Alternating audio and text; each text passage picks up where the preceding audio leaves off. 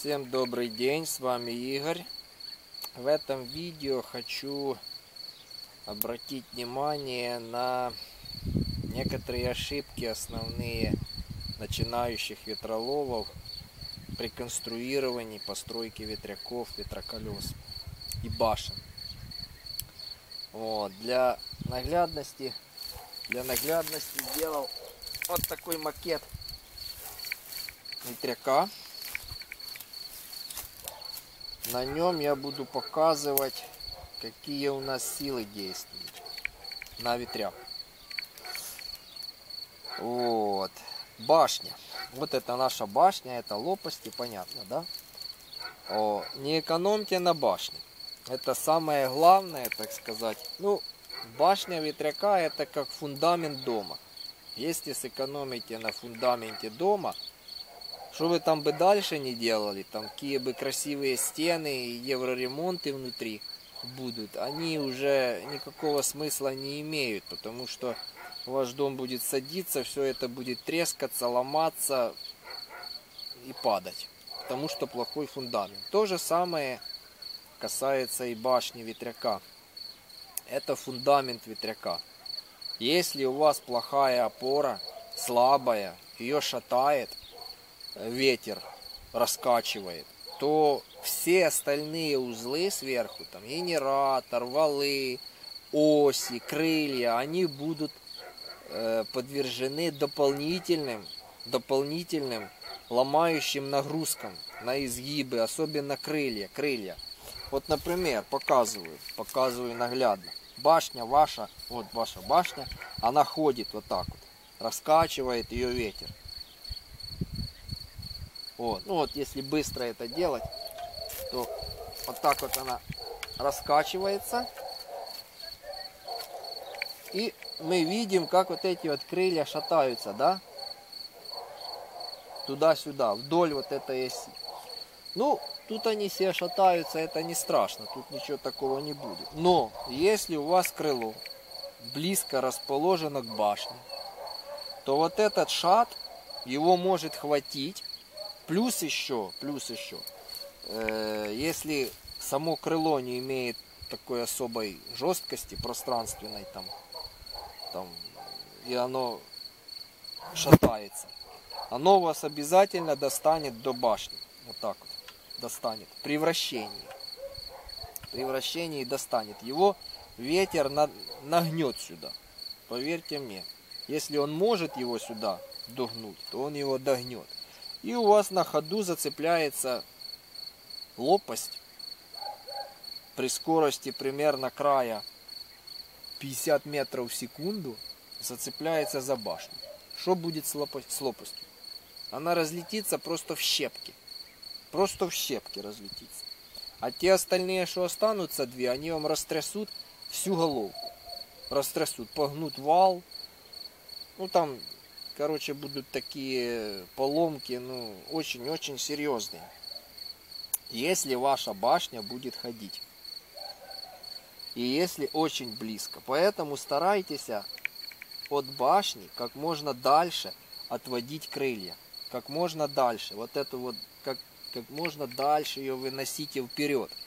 О, если у вас работает ветряк перед башней, если за башней, то этой проблемы не будет. Потому что если ветер будет отсюда вот дуть, то у вас крылья только будут оттягивать наоборот от башни. Вот раньше у меня так ветряк работал. Вот, за башней. Поэтому я за это не боялся, что крыло когда-то зацепится за башню. О. Но если у вас работает как по стандартной схеме, ветряк перед башней, обратите вот на это вот особое внимание. Это самая первая причина, самая распространенная причина аварий ветроколес, ветрогенераторов, начинающих самодельщиков. Когда крыло зацепляется за башню. Этому надо определить особое внимание. Вот. Ну, вы можете, конечно, давить его рукой, там проверять, но я вам скажу так. Есть определенные цифры, которые показывают давление на наше ветроколесо.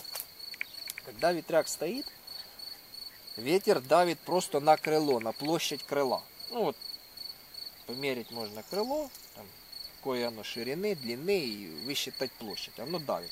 Между крыльями оно пролетает просто. Ветер, он на него не давит.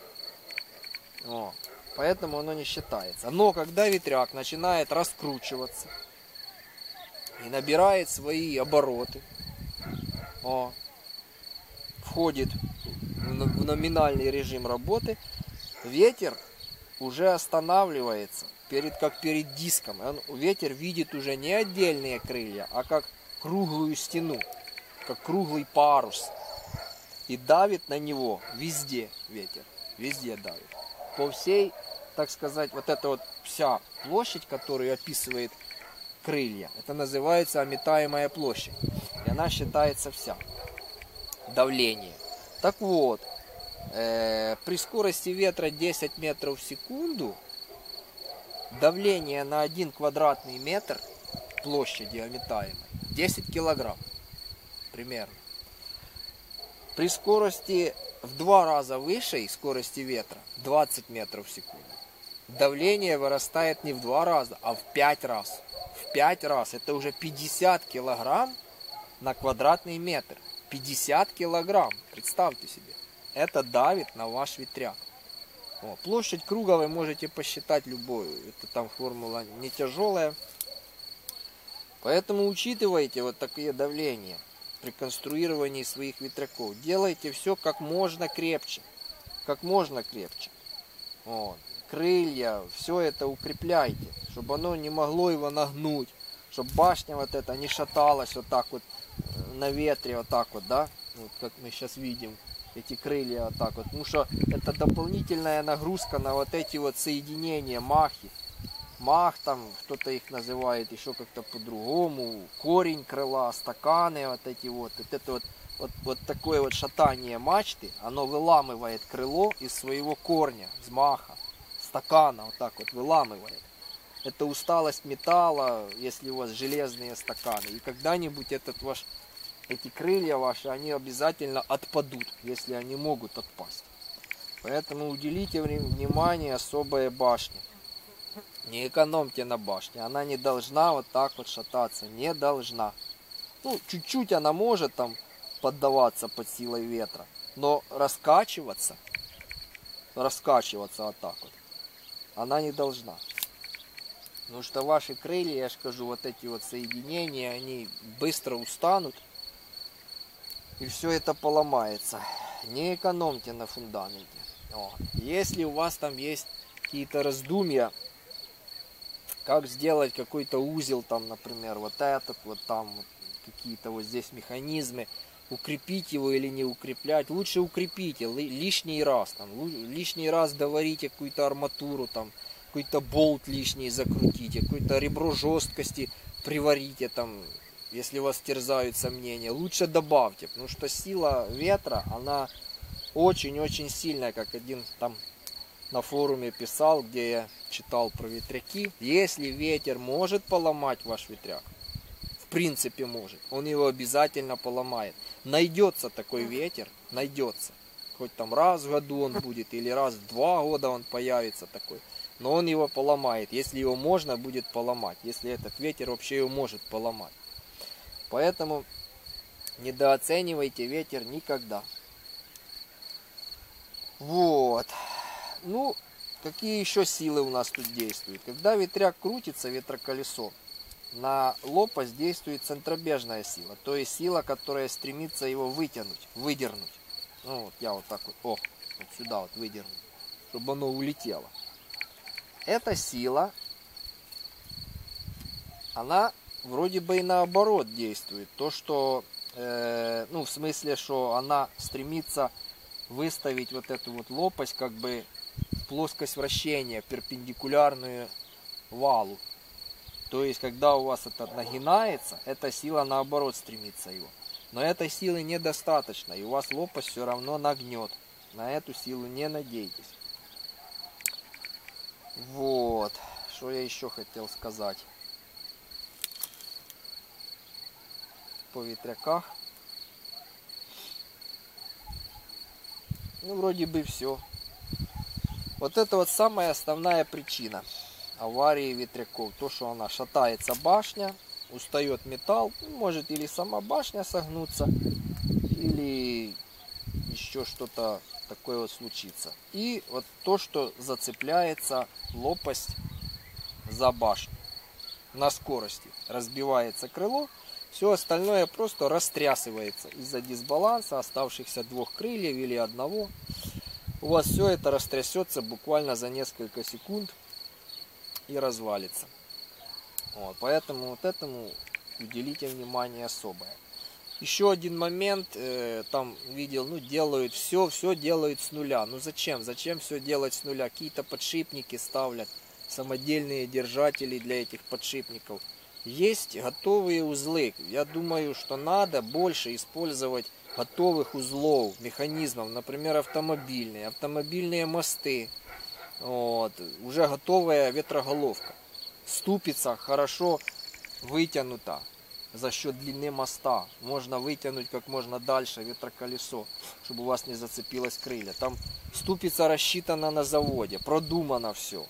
Там подшипники выдерживают очень хорошее давление, большие давления, на изгиб, на излом. Используйте готовые узлы, готовые детали. Вот, от каких-то механизмов, от автомобиля, там еще чего-то. Там это уже все проверено и рассчитано на прочность. Оно выдержит. Оно точно выдержит. Вот. Ну, чтобы проще было. Зачем себе усложнять жизнь, так сказать, выдумыванием каких-то там ступиц, подшипников, деталей, каких-то держателей. Это все не нужно. Все есть готовое. Это можно готовое, надо как можно больше использовать ветрякостроительстве. Вот есть хорошая книжка Фатеева.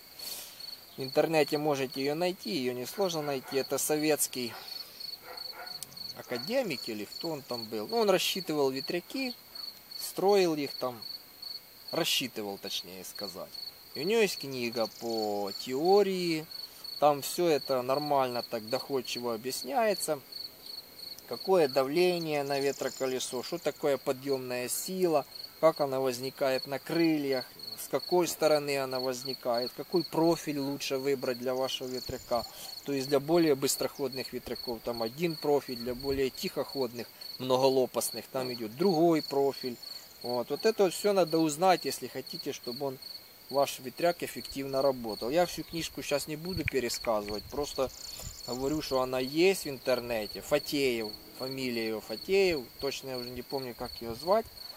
Но он очень доступно, хорошо объясняет, как это все строить. Именно для самодельщиков таких. Это 70-е годы Советского Союза. Что можно было в селе найти. Вот с этих материалов он там и рассказывает, как сделать ветряк. Простых там используются генераторы какие-то автомобильные. Но это уже другой вопрос. Хотите автомобильный, хотите какой-то свой делайте. Вот. Но книжку эту я вам советую найти и почитать. Там все эти азы, основы ветрякостроения освещены. Ее надо прочитать, прежде чем вы начнете что-то строить. Ну вот как-то все, что я хотел рассказать про наши ветряки, наше строительство. Если что-то непонятно, спрашивайте в комментариях. Буду пробовать объяснить, рассказать, показать на своем ветряке как я сделал. Я буду еще делать видео про ветряк. Хочу вот про башню сделать, как я ее делал. Свою. Вот. Подписывайтесь на канал, спрашивайте. Ну, как-то все. На сегодня, наверное, все. Все, всем пока.